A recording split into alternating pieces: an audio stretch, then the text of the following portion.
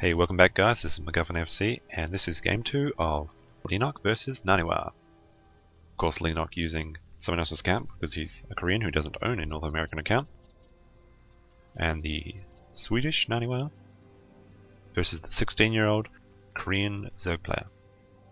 Now we have spawned on close air positions for Shattered Temple, the MLG version of course, with the little depot down here, which prevents the nasty 3 pylon block and it looks like uh, Leenock's going to take a quick scout and spot And anyway, Of course, you always want to go that with the close air positions for Zerg. And sometimes you see players moving up a unit at one minute into the game, and that usually spots the Overlord, so you get to know exactly where they are straight away. I believe the MLG versions of Shattered Temple, as well as now the ladder map, don't have close positions, so he knows it's not here. So his first probe is going to go straight here.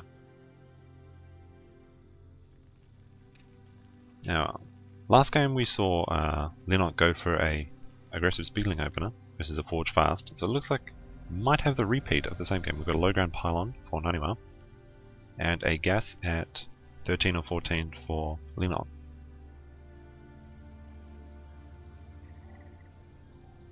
Naniwa is continuing to chrono probes, while he tries to scout to see if there is any hatchery first action going down. Of course he has spotted that gas coming down now, and the spawning pool is now spotted as well. Leenock moving overlords into position to see what Naniwa's up to. Naniwa might be going for that Nexus first again. He's up to 17 probes and 400 minerals, so yep, we're going to see a Nexus before Forge. Paid off for him last game, but we're going to have to see if it does on this one. That Forge is now down. And we're going to have to see how Leenock responds to this. He's got 100 gas, and now he is taking all but one drone off gas. And starting metabolic boost, and his queen now. Anyway, continuing to harass the hatchery location. Just to see if he sends any probes down. And Leenock getting a very obvious overlord right in the middle of his main to spot anything that happens. Of course that's completely safe until the cybernetics core comes out and he's just spotted the gateway so he knows that he has the time of a gateway being built, a cybernetics core being built, and then of course the stalker being built, or the sentry, before his overlords are in harm's way. This cannon going down here, so he repositioned his overlord, and we now have... Uh, it's two gateways. I would have thought he would have gone Cybernetics Core, but I guess he might be afraid of aggression. And, oh, it's a temporary wall off. There is a small gap, and, oh, nice move by Naniwa. He's holding those uh, Zerglings in position. That's why he built that pylon there, just to lock off the uh, position. It only gives you this little path. And he cancelled that once he had finished. He's got this one probe here, and yet he cancels the gateway to build the cybernetics core. So very good uh, city design by Naniwa. He knows exactly where to place the buildings on the map. That's something that's really good to practice. We do have a roach one coming out for Leenock. Now last time Leenock stopped at 15 drones for his all-in, but this time he's up to 19. But he seems to have stopped drone production for now, and it doesn't... Well, last time he cancelled his uh, hatchery, but it looks like he isn't this time. Of course, you never know, he is a very interesting player. I remember watching him in the GSL seasons, and uh, he had some very interesting infested play, and he'd also used to go for armor on his mutalisks instead of attack. His reasoning being that it's better to have a, a live clump of mutalisks than a more potent uh, dead group of them that had the arm attack upgrade. So interesting train of thought. He is building eight roaches Ooh, Leenock finding a little sweet spot where he can attack away from this cannon, harassing with his Zerglings on the probes, forcing Naniwa to mine on the close patches and build an additional cannon. It looks like he cancelled it though. So great moves by Leenock. Of course this Stalker's here now. Looks like he's got another probe kill. He's got one Zergling with one kill. Looks like he got two probe kills for that. And here come the roaches. Now, I don't think Naniwa scouted this. This is going to be a bit of a surprise. although it was what Leenock did last game, although this time it's a bit stronger, and Leenock has 25 probes instead of 15. Leenock's Roaches finding that sweet spot where he can attack away from the cannon. So great exploit of um, Naniwa's initially really good building placement, and that counts as the warp gates. And just before his Subnet's score drop, he started uh, production of a Stargate, and looks like he's found a little spot where he can attack the Nexus as well. Of course, there's Stalkers hitting his roaches. Throwing down a force field there. These four cannons here, he's got this really short distance where he can actually attack, and he's really using the fullest extent of that.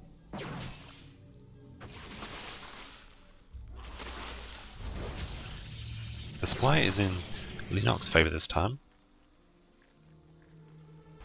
He is doing as much as he can with these uh, six roaches. He's gotten the shields down on that Nexus now, and will he be able to actually destroy it? The um, warp gates haven't even started for Naniwa, and he isn't producing any gateway units. So all he's got is these three gateway units, as well as these four cannons to defend against these uh, now five roaches. He lost one.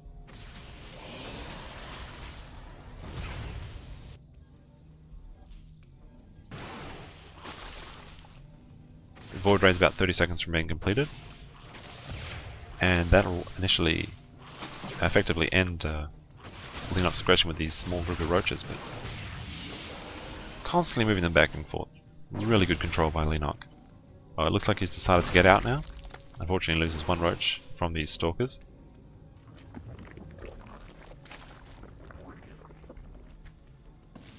Looks like he's a little bit oversaturated his main probably transfer. Oh no, he's actually got really good drone situation. He's at 43 drones.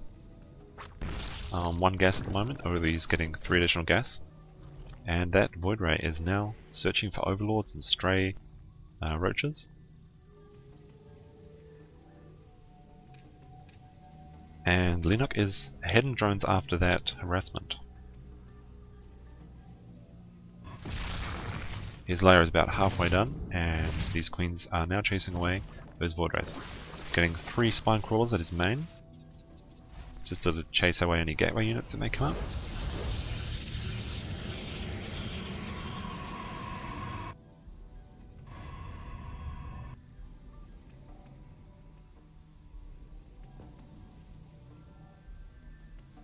Now we're going up to six gates with his one Stargate, so same build from last turn harassing with those two phoenixes he seems to love so much, and one void ray. It's a big clump of overlords here, but there is a lot of queens, and alright creep spread around his bases. He hasn't uh, started moving it out yet, and here come the gateway units. Leenock still tends to supply up, and we have a low ground pylon. This will allow him to warp in on the high ground with the help of these phoenix. So I'm wondering is he going to engage the front and then try and send these zealots into the mineral line? Although it looks like the uh, gateway unit's been spotted, and Leenock is now sending in his roaches and zerglings to deal with it. And we do have a Hydralisk den almost completed, as well as attacks plus one. So I gotta say, I think this is what the Protoss wants. He's forcing Hydras, and then he can easily switch into a Colossus path, and look, we have the Robo Bay going down, just as I say. Uh, Overseer looks a bit out of position, and it looks like he is going to die. I wonder if Leenock spotted... No, Leenock did not spot any of the Robotech. 10 Hydralisk on the way, as well as the Grooved Spines and Missile Pack uh, plus 2. So there's a uh, spot where Leenock has to do damage with the Hydralisk or defend with them or switch into tech, otherwise the Colossus just uh, run over his uh, Hydralisk. So fragile. But he is able to chase his this gateway Stargate army away now. We have Protoss Ground level 1 coming in, as well as some additional gateway units. Zerglings are harassing these uh, last units that are getting away from the pack. Leenock in about 13 supply lead at the moment. It's getting more Hydralisks as well as an Infestation Pit. And here we have the Robotic Support Bay coming down for Naniwa. It's actually just called the Robo Bay in uh, StarCraft 2. I think it was the Robo Support Bay in uh, Brood War instead of uh, Colossus it was Reavers that it supported. As well as all the upgrades, for the Robo units.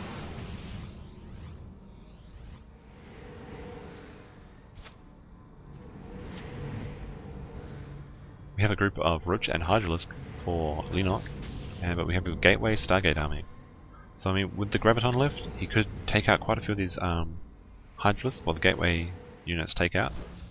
So, uh, but we now have reinforcements from the uh, Zerg, and his army is actually starting to look quite scary. Of course, those Colossus won't be out for a while. In fact, it'll be another 70 seconds before the first one's out, as well as no Thermal Lance yet. Those Hydralisks are shredding those Gateway units.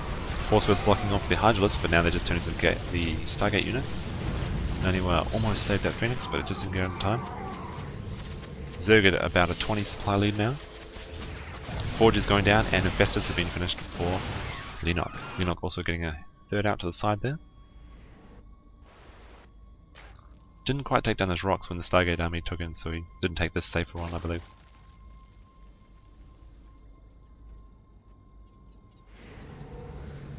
Now, if he can get some really good fungals off, the Phoenix won't be able to maneuver, and the Colossus won't be able to move back into the army as well, so could be really up to these uh, infestors. He doesn't have the neural parasite, not many Zergs are getting it these days with the nerf to its range. Will he be able to do something with this? He's got about 30 supply lead now, the Zerg um, macro kicking in now. He's got 4 hatcheries in total, with 3 expansions almost completed. So he's got to get some really good fungals, and pick off the key units like the Colossus, and then he should actually be in a good spot. Naniwa's starting to catch up a little bit and being a bit bold, moving out. He's got two Colossus now. Thermal Lance is almost finished. When you've got those two Colossus, they start to be deadly with Thermal Lance. Of course, uh, he's not fighting on creep, so these Hydralisks so slow. And they're clumping up quite a lot, so the Colossus is going to do a lot of damage. Leenock's Spire is still about 40 seconds out and Naniwa's Thermal Lance has finished and it's now only a 12 supply difference. So Naniwa has caught up. Naniwa trying to go to the middle map. Although I don't think he has any observers. Didn't have time to build one in, in the uh, aggressive pace that uh, was setting. And interestingly placed spine crawlers here. Looks like Leenock is going in now but he's on creep so that gives him the advantage he needs. Force field blocking off the entire army Hydralisk can hit a few of the gateway units, but it's just enough, and we have a good fungal here. Fungaling this group of units. Although those Hydralisks go down so quickly. Each of these Colossus has about 6 to 7 kills. Naniwa retreating a bit, and the supplies are about... They were even for a moment, but then Naniwa, uh, Leenock's uh, Larvae started to kick in, and now he's about 30 supply up again. And Naniwa really going in, being aggressive, using force fields. Got queens in the battle.